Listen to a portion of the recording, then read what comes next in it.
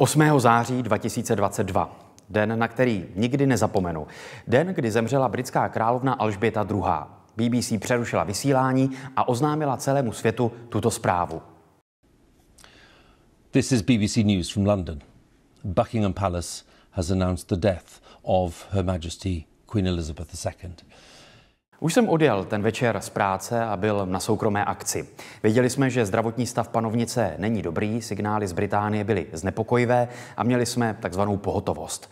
O půl osmé mi však na mobilu začaly pípat flešky. Oznamovali jedinou zprávu. Královna zemřela. Okamžitě jsem vyšel před budovu Mánesa, kde jsem zrovna byl, a volám šéfovi Honzovi Ouředníkovi, jestli se mám vrátit do práce. Jasně, odpověděl mi.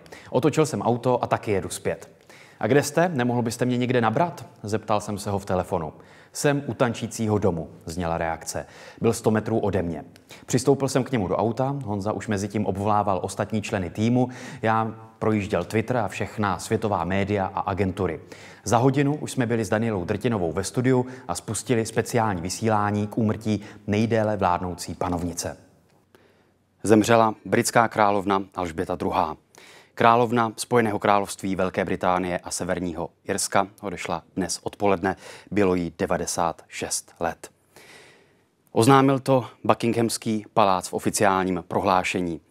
V takovou chvíli je člověku samozřejmě líto skončeného života, ale prací novináře je v takový okamžik informovat. Bez patosu, hysterie, přitom citlivě. Nejde nám o to být nejrychlejší a jít po skandálu, ale pokud se stane událost takového formátu, jsme u toho a nabízíme našim divákům kontext a souvislosti. Tady vidíme živé záběry z Londýna na YouTubeovém kanálu, oficiálním kanálu britské královské rodiny a právě teď vidíme cedulku, která oznamuje úmrtí královny, úmrtí panovnice a je vyvěšena na bráně přímo Buckinghamského paláce. Dnes britské impérium a království čítá nejenom Velkou Británii v čele které stála královna Alžběta II. 70 let, ale dnes také 14 dalších zemí, včetně Austrálie, Kanady nebo Jamajky. Královna Alžběta II.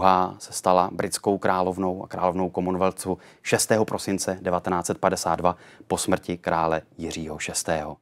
Podobně jako 24. února ráno, kdy začala ruská invaze na Ukrajinu. Večer předtím byly zprávy znepokojivé a tušili jsme, že se může něco stát.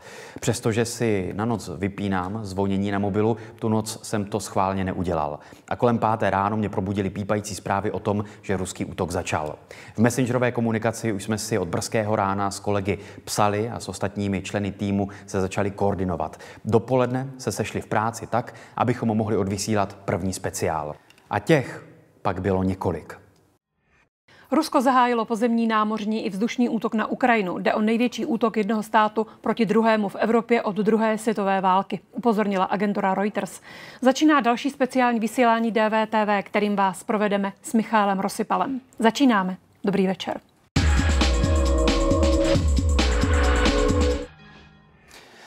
V současné chvíli promlouvá k národu a ke světu americký prezident Joe Biden. Ten před několika okamžiky oznámil, že Spojené státy se spojenci omezí schopnost Ruska být součástí globální ekonomiky. Cílem nových amerických sankcí je maximalizovat dlouhodobý dopad na Rusko. Projev Joe Bidena pochopitelně budeme i nadále sledovat. Další informace přineseme ve speciálním vysílání DVTV.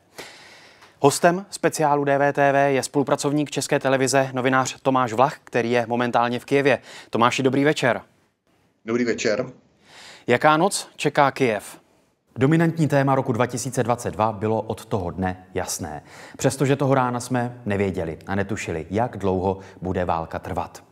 Děkujeme, že nás podporujete, budeme vám i nadále přinášet ty nejlepší rozhovory, pokrývat aktuální dění a nabízet kontext a souvislosti. Abychom v tom mohli pokračovat, prosím podpořte nás na www.podporujudvtv.cz. Děkujeme.